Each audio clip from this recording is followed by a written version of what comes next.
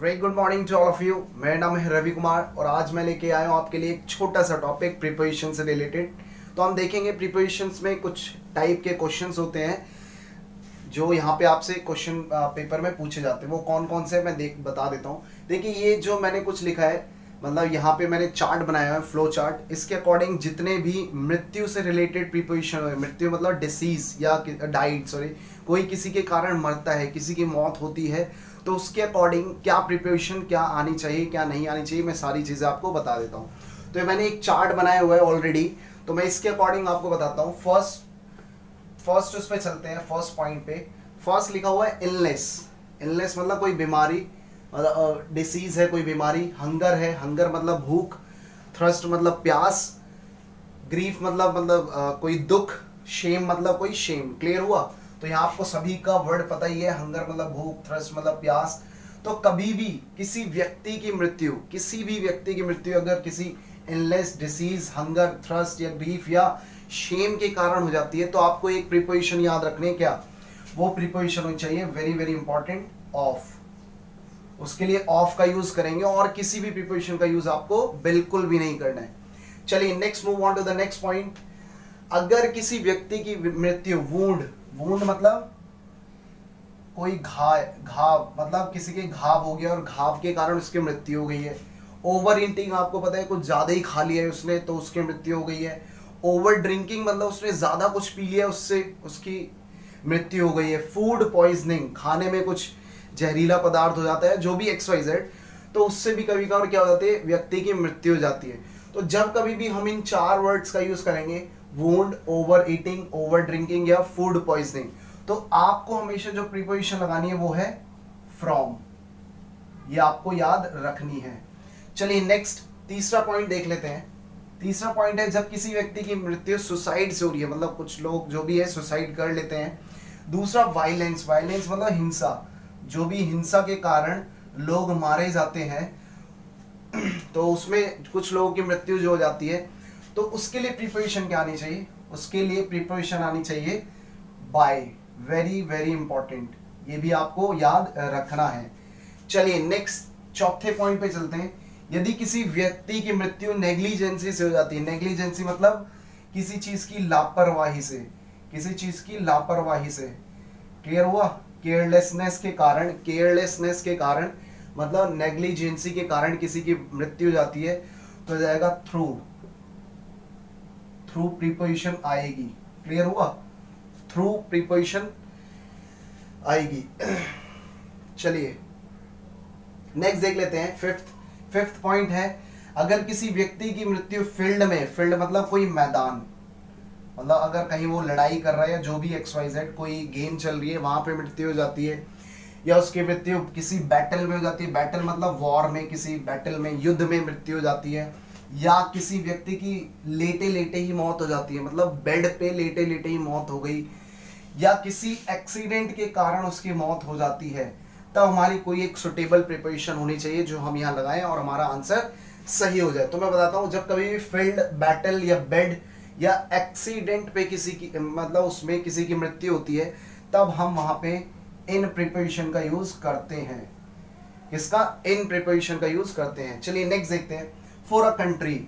अगर आपको पता है कोई पेट्रियोटिज्म है मतलब पेट्रियोट है, और मतलब देशभक्त है, और देशभक्ति के लिए उसने अपनी जान दे दी है, बेशक कोई वो सैनिक हो, कोई आर्मी का, कोई भी बंदा, या कोई नॉर्मल व्यक्ति भी हो जिसने कुछ भी देश के लिए किया हो, और वो उस दौरान उसकी मृत्यु हो गई हो। तो फॉर अ कंट्री मतलब किसी देश के लिए कोई व्यक्ति अगर अपनी जान न्यौछावर कर देता है तो हम वहाँ पे लगाते हैं फोर प्रिपोजिशन क्या लगाते हैं हम? फोर।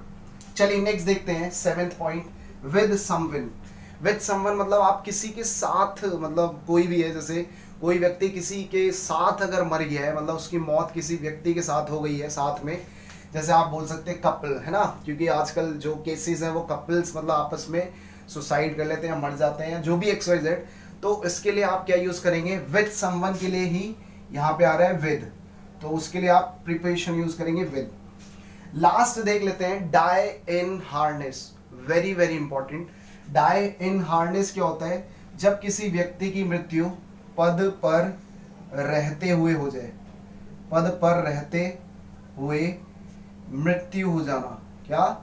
जब किसी व्यक्ति की मृत्यु पद पर रहते हुए हो जाती है। कैसे? जैसे एपीजे अब्दुल कलाम को सभी जानते हैं। तो जब वो अपना लास्ट मतलब जो भी स्पीच दे रहे थे तो वो अपने मतलब रिलेटेड टू स्टडी ही दे रहे थे तो उसी वक्त उनकी मृत्यु हो गई। इसका मतलब उससे उन्हें तब क्या जाए, कहा जाएगा कि वो मतलब हार्नेस पे रहते हुए मतलब die in harness he died in harness is the right answer clear तो यही सारी चीज़ें आपको बस ये चीज़ें याद रखनी है। पहली आएगी ऑफ़ दूसरी फ्रॉम तीसरी by third is fourth is through through sorry in for with और पद पर रहते हुए मृत्यु। तो ये पूरा डायरेक्ट आपको यूज़ करना है। आई थिंक इतना सब कुछ चीज़ें क्लियर हो गई अब मैं आपके सामने कुछ क्वेश्चन लिखता हूँ और क्वेश्चंस के अकॉर्डिंग हम इसको डील करते हैं। सो so, चलिए डियर स्टूडेंट देख लेते हैं हम। यहाँ मैंने कुछ क्वेश्चंस लिख दिए हैं रिलेटेड टू डाइड मतलब जो किसी व्यक्ति की मृत्यु होती है तो उससे रिलेटेड मैंने कुछ क्वेश्चंस लिख दिए हैं यहाँ। तो पहले क्वेश्चन की तरफ़ चलते हैं हम। People were saying that he died dash cancer तो यहाँ देखिए आपको कैंसर लिखा हुआ है। तो मैंने फ़र्स्ट जो लिस्ट का फ़र्स्ट वो था पॉइंट उसमें लिखवाया था। अगर किसी व्यक्ति की मृत्यु डिसीज से होती है तो आपको यहाँ प्रिपोजिशन लगानी है। तो प्रिपोजिशन आपको पता है बहुत सारी हो सकती है। At on in for with through ये सब चीज़ें। तो आपको यहाँ पे फिल करना है। तो यहाँ आना चाहिए। People were saying that he died of cancer very very important ना कि ही डाइड विद कैंसर मतलब कैंसर के साथ, या died in cancer died for cancer नहीं डाइड ऑफ़ कैंसर क्योंकि जब कभी भी कोई व्यक्ति किसी मतलब किसी डिसीज के कारण मरता है तो उसके साथ ऑफ़ का यूज़ किया जाता है। चलिए the great leader died dash in harness मैंने बताया था हार्नेस मतलब क्या होता है, जब किसी व्यक्ति की मृत्यु पद पर रहते हुए हो जाए। जैसे को, जैसे मैंने यहाँ लिखा है लीडर तो शायद उस टाइम लीडर भी रहा होगा मतलब जो भी है तो उस टाइम उसकी मृत्यु हुई तो इसका मतलब वो अपने कार्यकाल के दौरान मारा गया है ना?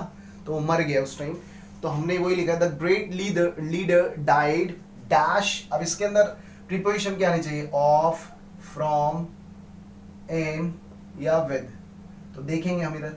तो भाई ऑफ़ तो ऑब्वियसली नहीं आएगी। ऑफ़ इसलिए आती है कि जब हम किसी इलनेस या डिसीज की बात कर रहे हो तो आप देख लेते हैं हार्नेस की बात की गई थी तो मैंने लिखवाया था डाई इन हार्नेस तो इधर आंसर आना चाहिए एन तो ये सही है। क्यों? क्योंकि डाई इन हार्नेस का मतलब ही क्या होता है? पद पर रहते हुए किसी व्यक्ति व्यक्ति की मृत्यु हो जाना। जैसे मैं बताया था एपीजे अब्दुल कलाम का एग्ज़ाम्पल दिया था भी था मैंने आपको। चलिए नेक्स्ट तीसरे क्वेश्चन की तरफ़ चलते हैं। Did Akbar die dash his bed मतलब क्या जो अकबर है, वो अपने बेड पर मर गया? ठीक है ना? तो यहाँ इधर देखिए, फिर से वही प्रॉब्लम ऑफ़ लगाए फ्रॉम लगाए इन लगाए विद लगाए। तो देखिए, जब कभी भी बैड पर मरने की बात होती है बेड पर तो हम क्या लगाते हैं उसमें? इन का यूज़ करते हैं। क्या लगाया जाएगा? Did Akbar die in his bed ना कि ऑन हिज बेड लोगों को क्या लगेगा कि भाई हमारा आंसर ये सही हो सकता है। ऑन हिज बेड उसके बेड पर नहीं। लेकिन आएगा in his bed is the right answer चलिए next Ramesh an ex service man died dash his country तो फिर वही ऑफ़ फ्रॉम इन विद या फोर या थ्रू इनमें से कोई प्रिपोजिशन आपको लगानी है। तो कितने सारी प्रिपोजिशन है? चलिए देख लेते हैं। Ramesh an ex serviceman died अब ये देखिए, वो उसकी कंट्री के लिए मारा गया है। तो मैंने बताया था, जब कोई व्यक्ति किसी अपनी कंट्री के लिए न्यौछावर कर दे अपनी जान तो उसको हम लगाते हैं for his country is the right answer clear चलिए देखते हैं। I think she has died dash malaria तो फिर से आगे कोई डिसीज की बात हो रही है कि उसकी जो मृत्यु है, किसी मतलब डिसीज मतलब मलेरिया के कारण हुई है ना मृत्यु? तो फिर अभी मैंने बताया था, जब कैंसर के लिए ऑफ़ लगा था तो यहाँ भी क्या आएगा? ऑफ़ का यूज़ किया जाएगा। She has died of malaria is the right answer चलिए next Radha came to know Radha को पता चला that her grand father died dash battle अब भाई, मैंने बताया था बैटल या फ़ील्ड है ना? या बेड पर मरने की बात हो, जैसे किसी मैदान में या किसी युद्ध के मैदान में अगर किसी की मृत्यु हो जाती है, तब हम क्या लगाते हैं? In battle in field in battle in bed तो आपको मैंने बताया था। चलिए next a ten year old boy died dash food poisoning in a school चलिए देख लेते हैं। जब मैंने बताया था ओवर ईटिंग ओवर ड्रिंकिंग जैसे आपने ज़्यादा खा लिया, ज़्यादा पी लिया या कुछ फ़ूड में कुछ जहर है, उसकी वजह से आपकी मृत्यु हो जाती है। तो मैंने एक प्रिपरेशन बताई थी। क्या है वो preparation of from in with for या थ्रू तो मैंने बताया था तो आप लगाएँगे वहाँ from is the right answer a ten year old boy died from food poisoning in a school clear I never knew मुझे कभी नहीं पता चला that my friend died dash violence अब वायलेंस की बात हो रही है। वायलेंस मतलब कुछ किसी हिंसा का हो जाना, है ना? किसी हिंसा के कारण किसी व्यक्ति की मृत्यु हो जाना। तो यहाँ भी वही बात की जा रही है my friend has sorry my friend died dash violence तो इसके लिए आप क्या लगाएँगे? हिंसा के लिए मैं बताया था इन का यूज़ किया जाएगा इन वायलेंस मतलब वायलेंस के लिए में मर गया है ना वो। More than 15 students died dash negligence in school चलिए मोर देन 15 स्टूडेंट मतलब 15 से ज़्यादा स्टूडेंट एक स्कूल में लापरवाही के कारण मर गए। लापरवाही आप समझते हैं केयरलेसनेस के केयरलेसनेस के कारण मर गए हैं। तो फिर वही of from in with for through इनमें से क्या आएगा? तो मैंने बताया था नेग्लिजेंसी मतलब लापरवाही, उसके साथ हमेशा क्या आएगा? Through through negligence is the right answer चलिए लास्ट क्वेश्चन देख लेते हैं आज ten people die dash a gastric accident फिर आपको लगाना है of from in with for या थ्रू तो इधर देखिए टेन पीपल डाइड यहाँ गैस्ट्री मतलब बहुत भयानक भयानक एक्सीडेंट में मरना। तो मैंने बताया था कि कोई व्यक्ति अगर किसी एक्सीडेंट में मर जाता है तो क्या आएगा?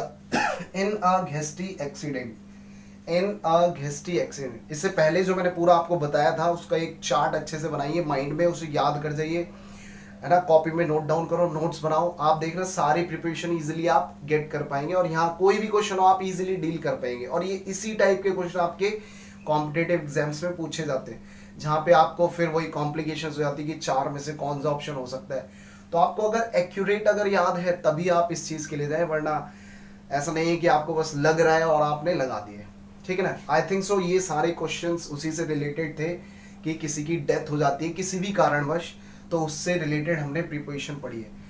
तो ठीक है, जितना भी समझ में आया, आप उसे नोट कीजिए और मुझे कमेंट सेक्शन में लिख करके बता सकते हैं। अगर कुछ भी आपके, कुछ भी क्वेरी है, कुछ भी इशू है तो चलते हैं। आज के लिए इतना ही है और नेक्स्ट वीडियो हम जल्दी मिलेंगे छोटी मोटी कोई वीडियो बनाएँगे। And please do subscribe my channel and don't forget to ring the bell icon that is given okay तो चलिए हम नेक्स्ट वीडियो मिलते हैं। आज के लिए bye bye take care good night to all